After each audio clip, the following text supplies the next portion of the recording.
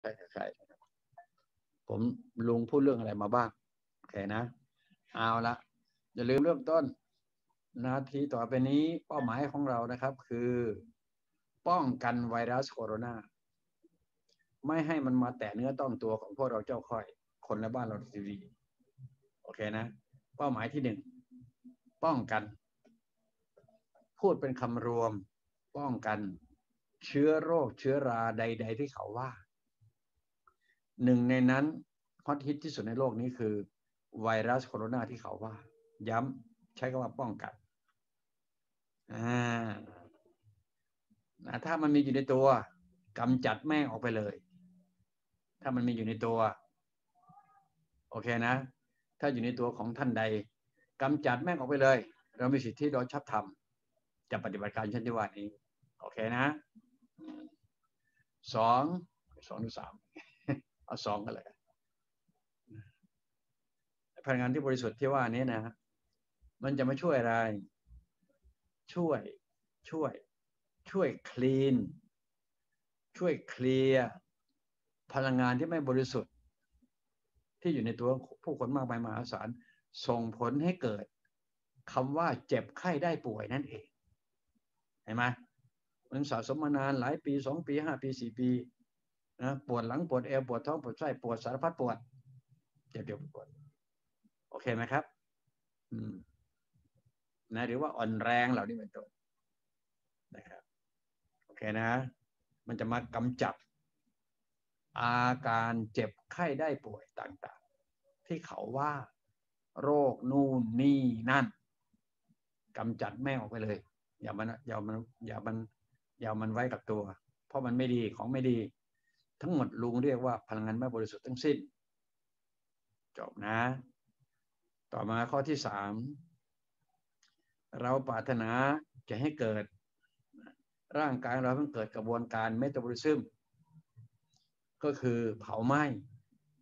สร้างภูมิต้านทาน สร้างภูมิต้านทานให้เกิดขึ้นในตัวเอง เพราะฉะนั้นจะต้องเริ่มต้นด้วยการสูดอากาศเข้าไปลึกๆ ทางจมูกก็ได้ ทางปากก็ได้ แต่ลีลากับกิริยาคืองับ งับเหมือนโทษทีแสดงให้ดูนะ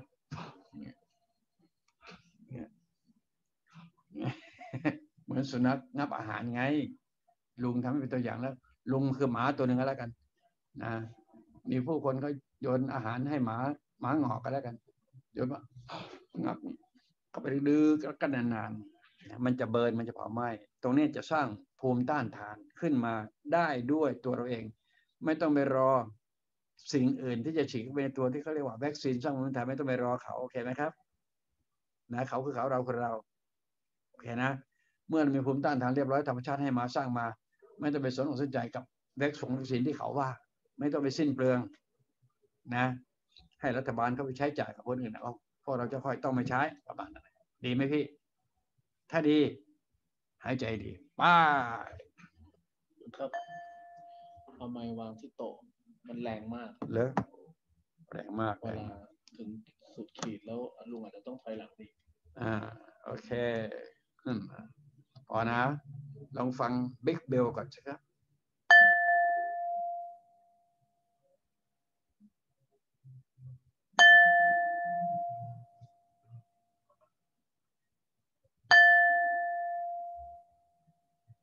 เหมือนคล้องเหมือนกองไหม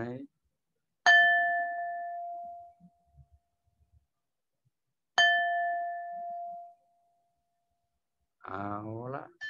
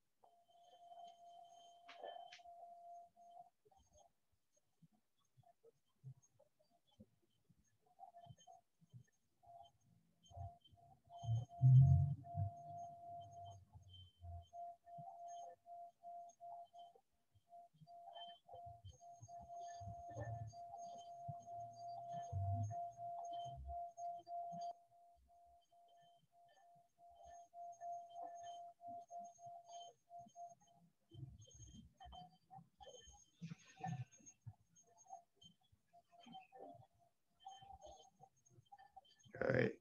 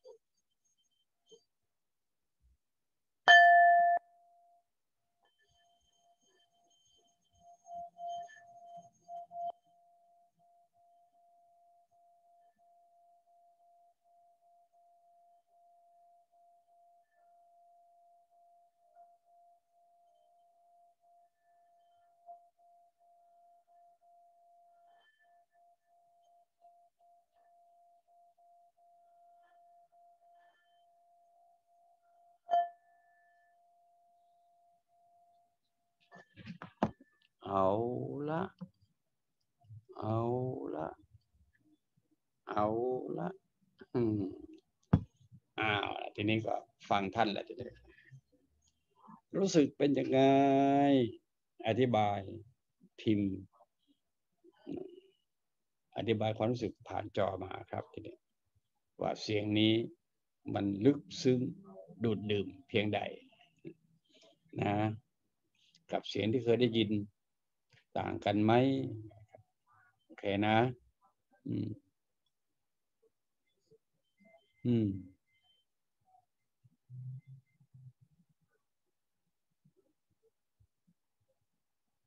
อืมโอเคเนาะอ้าวพิมพ์มา พลังงานเสียง พลังงานบริสุทธิ์ซ่อนอยู่ในเสียง ถ้าพูดผ่านวิทยาศาสตร์ ผมจะพูดผ่านไปในรูปแบบของควาร์กนะครับ